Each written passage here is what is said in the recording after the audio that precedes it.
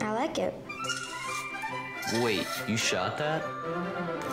Your sister shot this? She calls it onions. It's beautiful. And it's just an onion. Put this on our homepage now. People need to see this. The rules of cinema have changed. This is the work of a major artist. I shot the whole thing on an iPhone.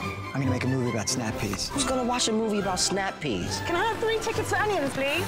This was like seeing the onion on a molecular level. This is talent. Why are we not representing it? Now I know the truth. 4K on an iPhone. Wake up, people. That's poetry. And the winner is, no surprise here, onions.